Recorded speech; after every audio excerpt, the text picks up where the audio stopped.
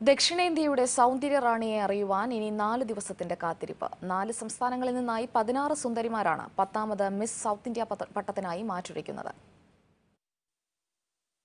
Thrissur Lulu international conventional സെന്ററിൽ വെച്ചാണ് മത്സരം.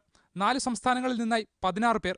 വിധികർത്താക്കളായി miss world first runner-up Parvathy Omanakuttan cinema താരങ്ങളായ ബാബു ആന്റണി രഞ്ജിനി എന്നിവരടങ്ങുന്ന പാനൽ. ബുദ്ധിയും സൗന്ദര്യവും ഒരുപോലെ ഇളക്കുന്ന മത്സരത്തിനായുള്ള കാത്തിരിപ്പിലാണ് മത്സരാർത്ഥികളും കാണികളും. രാധിക ഷാരു ശ്രുതി വിദ്യ എന്നിവരാണ് കേരളത്തെ പ്രതിനിധീകരിക്കുന്നത്. കേരളത്തിൽ വെച്ച് നടക്കുന്ന മത്സരത്തിൽ കിരീടം ചൂടാനാകുമെന്ന ആത്മവിശ്വാസത്തിലാണിവർ.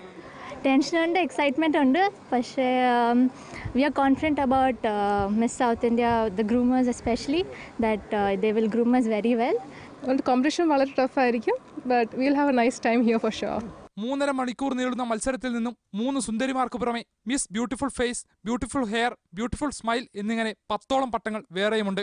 വിവിധ റൗണ്ടുകളിലേക്കുള്ള പരിശീലനത്തിന് ശേഷമാണ് ഓരോ മത്സരാർത്ഥിയും റാമ്പിൽ കയറുന്നത്.